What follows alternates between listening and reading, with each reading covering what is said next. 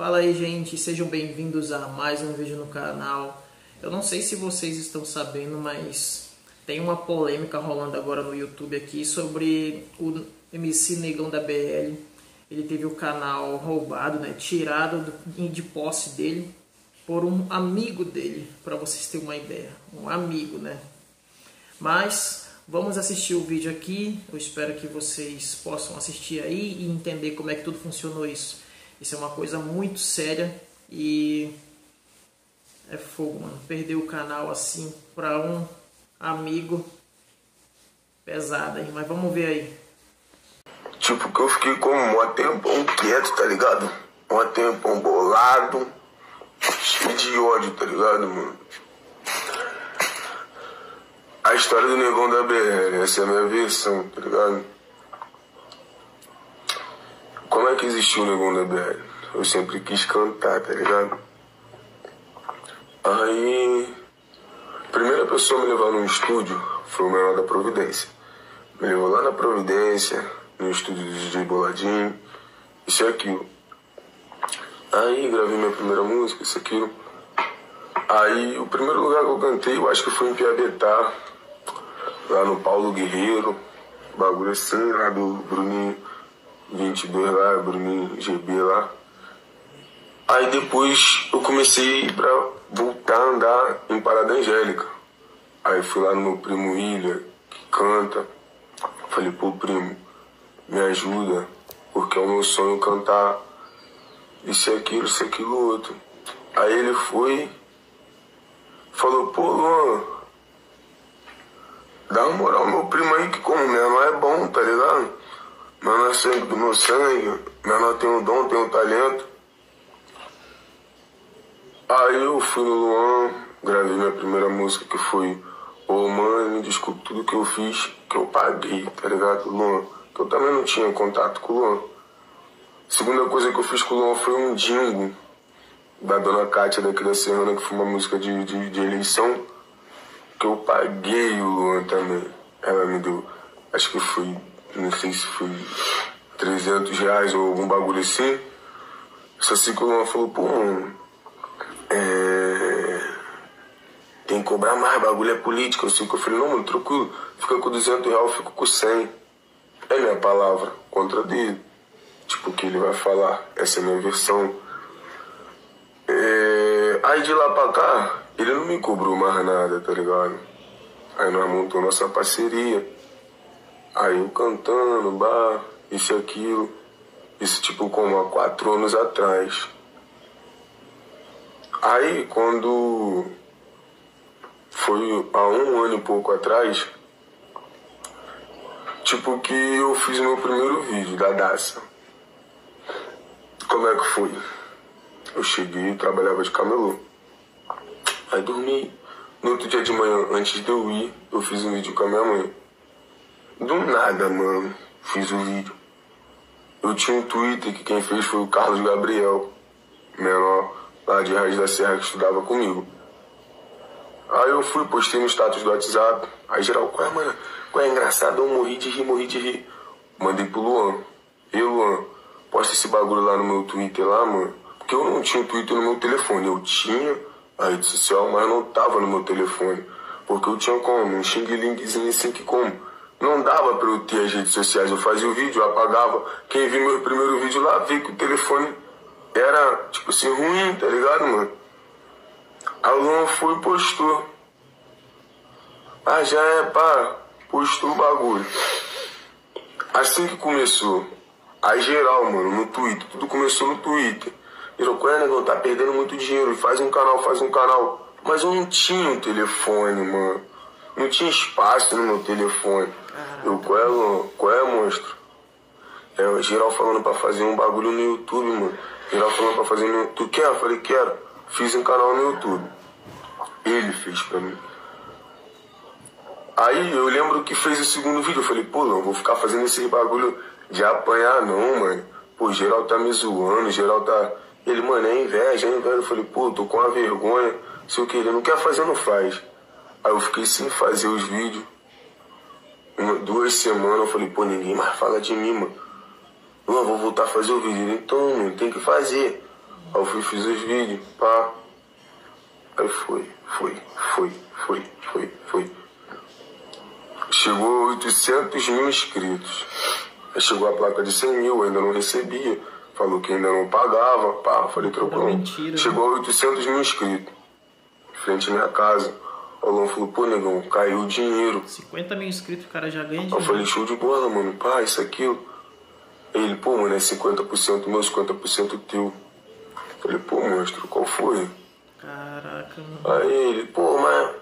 Aí eu fiquei bolado, mas falei, suave, mano. Aí ele me deu 6 mil. Tipo, pra mim.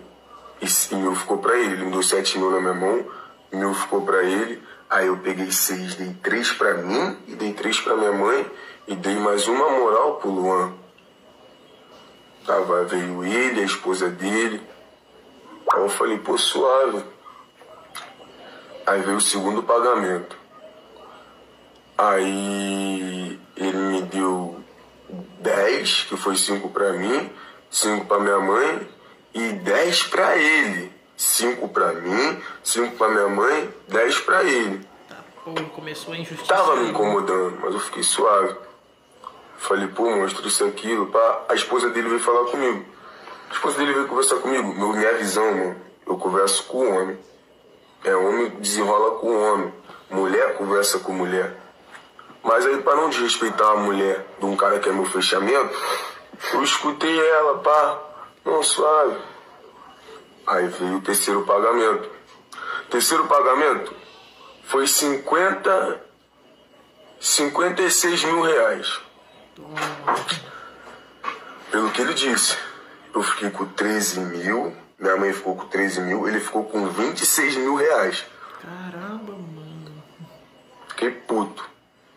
Falei, pô, monstro, com todo respeito. Pô, mano, tem algum bagulho errado aí, mano. Pô, você não me dá nada, mano.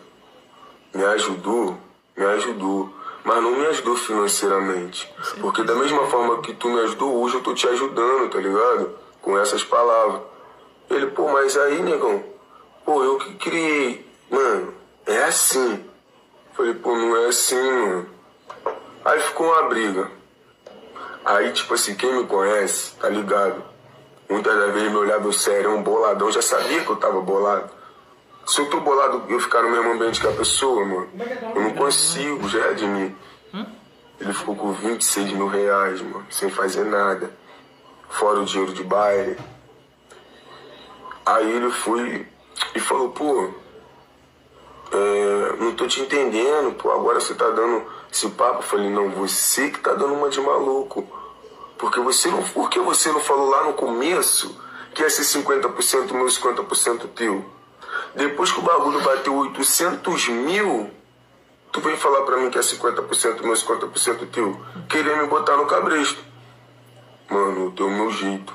Falei, pô, então apaga o canal, mano. Não é que eu quero esculachar o cara ou abandonar o cara, mano. Eu prego a lealdade, eu sou leal, mano. Eu guardo o papo reto. Mas não vem querer ser esperto, fazer um bagulho, tipo assim. Aí ele vai ali, fala uma, uma baboseira, vai não sei onde fazer a baboseira, eu tô quietão, mano. Mas tem coisa que não dá pra tu ficar quieto, tem que também se expor, tem que mandar o papo reto, porque a rapaziada só conhece um lado. Com certeza, né? Aí chegou, teve essa conversa, isso, aquilo. Aí esse foi meu terceiro pagamento. Aí agora no quarto, foi quando desenrolou, conversa vai, conversa vem. Ele falou, tudo bem, então vai dividir entre eu, você e sua mãe, mas eu quero as suas parcerias. Mas dividir eu e tu, pô. Pô, ele não tem lógica. Eu sou teu funcionário. Com essas palavras, eu sou sujeito homem, tá ligado? Aí eu falei, pô, mano, tranquilo, você quer minha parceria. Paga um aluguel pra mim, mano, lá embaixo. Geral fala que eu moro longe de tudo, mano. Eu tenho que ter um aluguel, tá ligado? Morar lá embaixo. Ele aí complica, pô. Aí complica porque, tipo assim, eu tenho meus filhos, eu tenho gasto. Pô, negão, aí complica. Você não tem gasto nenhum. Falei, pô, mas tudo bem, mano. Mas o que, que você tá fazendo pra você ganhar esse dinheiro todo? Ah, Aí teve a briga. Aí foi daí que. Aí, esse mês que passou. Foda, hein. E eu já tava sem se falar com ele. Aí caiu o dinheiro do YouTube, ele deu 9 mil da minha mãe. Depois também de mó desenrolado. Meu dinheiro ele prendeu. Fiquei quieto, mano. Aí, na região aqui, ele fez a cama dele. Como contador de história, ele se passou como vítima. Safado, né? Ah, não, é que eu ajudei ele, pá. Tranquilão, mano. Que o cara me ajudou, mil a zero. Mas eu não ajudei ele. Eu botei foi a 5, eu botei foi a 20, eu botei foi 26, eu botei 11 mil e o dinheiro que ele prendeu meu no bolso dele. Tá ligado? Aí, tipo assim, mano. Eu hoje não posso entrar em parada angélica. Porque ele foi lá, fez o papo dele, isso, aquilo. Mas, tipo assim, eu, eu, eu, eu, eu. Cansei de brigar com a minha mãe, mano. Luan tá ligado porque eu parei de estudar. Por que eu parei de estudar? Porque eu cantava em parada angélica. Cantava mesmo proibidão. O policial me parou ali em frente ao Cosolino. Jogou minha mochila no chão, me esculachou, papapá. A tia que vem de bala do lado do Cosolino. Não, ele é um menino bom, isso, aquilo. Cheguei numa, falei, pô, monstro, vou mais pra escola não. Já não queria ir mais pra escola. Aonde eu ia, mano? Falei, não, sou cria de parada angélica. Sou de parada angélica. Meu cachê tava altão, tá altão. Nunca cobrei parada angélica mais do que 250 real. Aí, um bagulho que eu fico bolado com a rapaziada que só escuta um lado. Tipo assim, não, ele não pode entrar aqui não. Aí, tipo assim, diretamente, direcionando papo pro Nanado. E Nanado, da Serrana. Quando você manda áudio pras pessoas e fala assim, negão é mó vacilão, pilantrou com o Luan, merece uma coça. Não é assim. Não é assim, vou dar uma coça. Eu tenho o meu jeito, tá ligado? Pode falar que eu sou marrento. Pode falar, pô, Renan, não, não gosto dele. Mas ninguém pode falar que eu sou pilantra. Porque eu ando na rua assim, ó, de cabeça erguida. Porque ninguém pode falar que eu sou pilantra. Eu lembro que eu peguei um chiclete no Badi, eu paguei o Badi. Eu lembro que eu peguei um biscoito aqui no meu vizinho, minha mãe me corrigiu. De lá pra cá nunca mais. Fiz coisa de moleque. Sou sujeito homem, tá ligado? Aí pra hoje eu não entrar em parada angélica, tá ligado? É um bagulho ruim pra mim. Que eu fico triste, tá ligado? Porque é um bagulho que, tipo assim, eu sempre quis ser um ilha pastor na vida. Não pra cantar proibidão, não pra ser preso, não por droga. Mas, tipo assim, ser estrela de uma comunidade. Chegar as criancinhas vir, pai. Aí hoje quando eu escuto falar assim, pô, mano, os caras falou que se tu ir lá, vai te pegar porque tu pilantrou com o Luan. Falei, eu pilantrei com o Luan? Eu? É, mano, o Luan falou lá que por causa do dinheiro de YouTube, é, tua mente mudou, pai, isso, aquilo. Eu quero que o pai me fala quando foi a, a vez que eu pedi dinheiro ele a mais. Aí, tipo, é questão de lógica. Para e analisa. Quantas vezes eu fui de bicicleta cantar, deixava a bicicleta na casa do amigo lá, ia cantar, pô. Porque eu queria estar tá lá. Tá ligado? Eu queria estar tá lá. Quantas vezes eu cheguei lá sem o Luan, porque o Luan não quis ir, porque falou, bora, tá indo cantar por 100 reais? Crime é milionário, crime tem dinheiro, eles têm que pagar. Falei, tá maluco, é minha favela. Ô, Luan, admiro você. Chegava lá, o Ed tocava pra mim. Tipo assim, outra coisa direcionando ao JL, mano. Não compra um barulho que você não sabe o que que é, mano. Não sabe. Tipo, valeu, Luan. Ah, tu merece teu dinheiro. Merece. Mas aquilo que você merece. Tá ligado? Tipo assim, eu não tenho olho grande em nada de ninguém. Negão tá ganhando mó dinheirão, não dá uma moral, Luan. Minha casa ainda tá sendo construída, a dele já tá construída. É uma coisa, pô, nada a ver. Eu não quero diminuir o cara, mas eu tirei o cara da obra para dar mais dinheiro para ele e menos para mim. Aí, tipo assim, pô, negão, pô, mas, pô, carro do YouTube, qual é a cena? Aqui. Cara do YouTube, tu abandonou o cara. Tua mente se virou por causa de dinheiro, você deu uma volta no cara. É, eu dei uma volta no cara. Qual é o meu contato? Meu contato, aqui. Eu dei uma volta no cara. O bom é que ele mesmo postou. Como é que o canal é dele se tá tudo no meu nome? Quem viu esse bagulho aqui, né? Vai conseguir ver que tá tudo no nome dele. Como alguém vai conseguir ver. Ele tá até tampando o nome dele aí. Como que eu vou dar a volta nele se o dinheiro cai na conta dele? É lógica, mano. Se eu pegar 100 mil, 100 mil vai cair na conta nem, nem dele. É da esposa dele. Que ele tem problema com a justiça. Na esposa dele. Cara, então não é verdade. Não tem lógica. Não tem lógica. Tá ligado? Não tem lógica. O vagabundo vir falar pra mim, pô, negão, carro de YouTube. Mano, o amigo tá comprando um carro, eu ainda tenho bicicleta. Tá ligado? Mas minha abolação não é com os bens financeiros. Minha abolação é que, tipo assim, eu lutei pra crescer, pra ser reconhecido. Eu não lutei pra ser rico. Porque se fosse por embora daqui, já recebi um montão de proposta, pô. Por que ele não vem na minha direção desenrolar comigo? Que ele peida. Sujeito homem, desenrola cara a cara, pô.